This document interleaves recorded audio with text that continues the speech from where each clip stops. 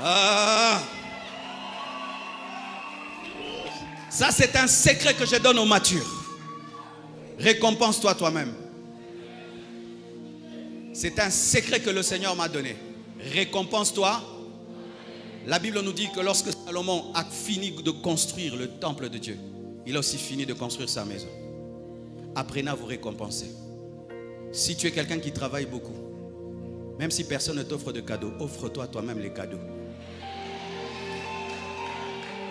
C'est un des grands secrets dans la vie. À la fin de l'année, offre-toi des chaussures à toi-même. Si tout le monde a oublié de t'offrir, tu t'offres toi-même. Tu dis, je t'offre. Je m'offre.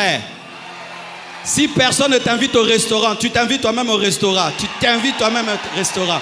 Je vous dis, Alléluia. Souvent les papas, vous souffrez beaucoup. Vous, c'est vous qui faites tout pour tout le monde. Vous ne pensez pas à vous. Si on ne pense pas à toi, papa, tu vas, tu t'achètes une belle chemise. Tu l'appelles bonne année. On t'a offert, je me suis offert. Tu n'es pas l'esclave de ta famille pour que tu sois toujours en train de faire pour les autres. Tu dois aussi faire pour toi-même. Récompense-toi toi-même. Lorsque j'étais célibataire, je n'étais pas marié. Je faisais ça. Tu prêches trois cultes, mes frères. Tu souffres, tu souffres. Les fidèles, eux, ils sont heureux. Comme vous êtes heureux là, ils ne savent pas que tu souffres dans les poumons. Quand tu dis Amen là, tout le monde baba pasteur. Tu dis Ah non, le récompense-toi. Et puis j'allais en ces temps-là, Aldar. Qui connaît Aldar? J'allais Aldar. Mes frères, Bobo l'épée, ça appétit. Hein. La pauvreté donne l'appétit. Frère, j'ai commandé deux shawarma et deux éclairs, moi-même. Et un gros, un gros jus. Et je finissais. Et puis j'ai dit, Amen, Marcelo, maintenant tu peux rentrer à la maison. Je me suis récompensé moi-même. Comme ça, j'ai la force de prêcher encore. Récompense-toi toi-même. Récompense-toi toi-même. Récompense-toi toi-même. Récompense-toi toi-même. Lorsqu'il a fini de construire la maison de Dieu, il a construit sa maison. Frère, si, hmm, si tu es quelqu'un qui travaille dur, les gens ne pensent pas à toi, pense à toi-même. Car si on ne t'amène pas à l'hôpital, tu t'amènes toi-même, n'est-ce pas? Donne-moi la main.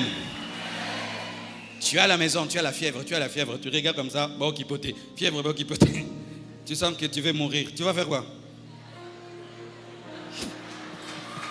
Si personne ne t'amène à l'hôpital, amène-toi toi-même à l'hôpital. Si personne ne te récompense, récompense-toi toi-même. Tu t'achètes une belle montre, tu t'achètes des belles chaussures. Si tu as l'argent, tu t'achètes une belle voiture. Alléluia, récompense-toi toi-même. Pourquoi? Pour avoir le courage de continuer. Parce que quand on bosse dur, des fois la souffrance accompagnée du travail fait souffrir. Dieu qui crée se repose alors qu'il n'a pas souffert. Et alors moi? Dieu, après le sixième jour, se reposa. Il a souffert, il a transpiré. Maintenant, moi qui transpire, j'ai besoin du septième jour. Et si personne ne te fait entrer dans le septième jour, fais-toi entrer toi-même dans les sabbats. Y a beaucoup qui ne comprennent pas. Je savais ça, mais c'est pour certains ici. C'est pour certains, vos vies sont tournées sur les autres, sur les autres, sur les autres, sur les autres. Vous avez oublié que vous existez. Il y a un temps où on pense à soi-même. Pense à toi. C'est pourquoi vous voyez en Europe, un vieillard, il travaille, il a 70 ans, il part là, il prend une Porsche. Et eh, papa, Porsche, tu vas en faire quoi? J'ai souffert. Donnez-moi la Porsche. Il a conduit, il s'est récompense lui-même. Sinon, tu auras l'esprit des papas du Congo, ils vendent toutes les parcelles.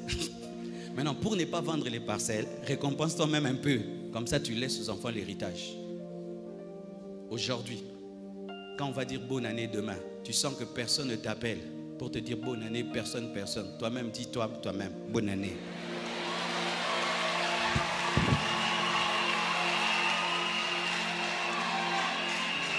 Hmm.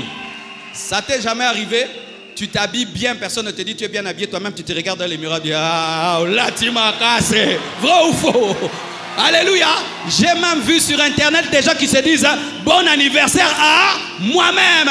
Souhaite-toi toi-même bon, bonne année. Même si on t'oublie, ne t'oublie jamais. Récompense-toi toi-même. David s'est regardé, a dit Je suis une merveilleuse créature. Ah. Gloire à Jésus. Pour terminer, il faut finir cette année en Christ. Mes frères, tout ce que je viens de dire, les neuf choses, sans la dernière chose, ne servent à rien du tout. Et là, il y a deux dimensions. La dimension du païen et la dimension du chrétien.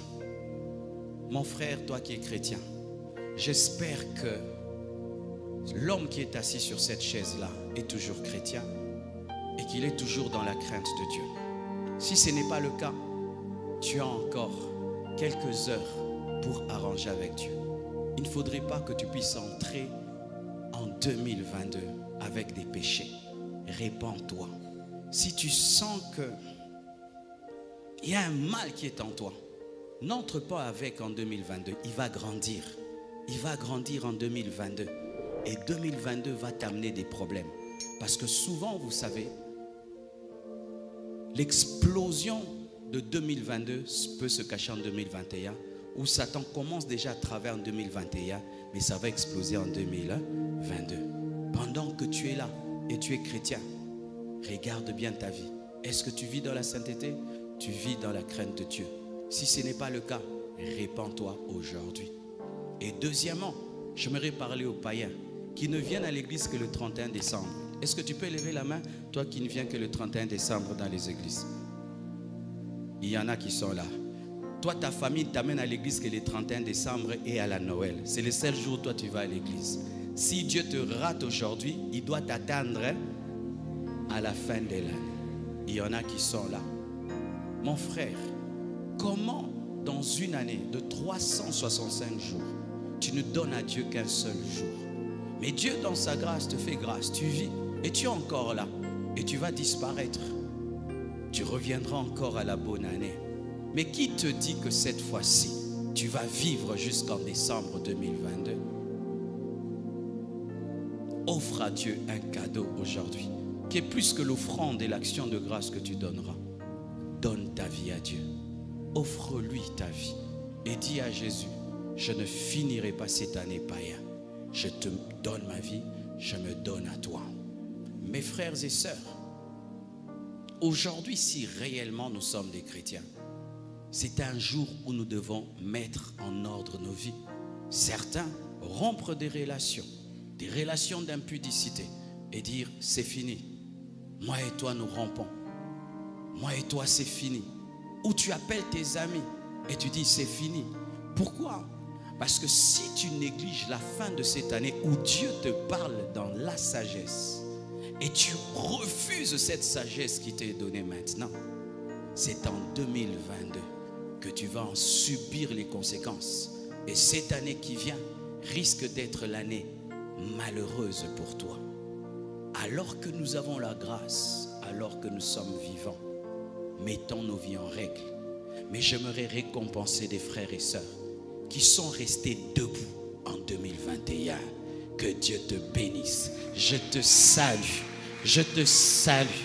Tu as eu des tentations, mais tu as résisté. Tu as eu des épreuves et tu as résisté. Tout autour de toi te poussait à abandonner. Tu as tenu bon. Tu as vécu des temps difficiles, mais tu es là. Tu aimes Jésus de la même manière. Tu pries de la même manière. Tu adores de la même manière. Que ta récompense soit grande. Je prie qu'en 2022, que le Seigneur récompense ta fidélité de 2021. Que le Seigneur récompense ta consécration de 2022, de 21. Que Dieu t'élève en 2022. Qu'il se souvienne que tu es resté fidèle à lui et que tu as eu des opportunités de pécher et de l'abandonner, mais tu as refusé. Que le Seigneur te grande. Et je te prie, cette année encore, reste debout. Ne te lasse pas d'être debout.